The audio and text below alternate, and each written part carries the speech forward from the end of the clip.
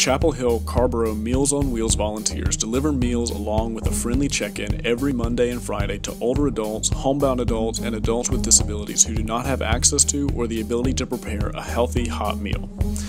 Volunteers power this community outreach organization, often going above and beyond by changing fire alarm batteries, moving heavy packages, or just staying a little longer to talk. As the demand in our community continues to grow, Chapel Hill Carrboro Meals on Wheels grows and innovates as well. Over the past 43 years, the organization has committed to their current recipients and has also reached out to others in the community that are still in need. In North Carolina, 20% of seniors suffer from food insecurity, and even more are isolated and lonely. Deliveries and check ins from Chapel Hill Carrboro Meals on Wheels volunteers help alleviate hunger and isolation in our community. Congratulations to Chapel Hill Carrboro Meals on Wheels, the 2019 Nonprofit of the Year.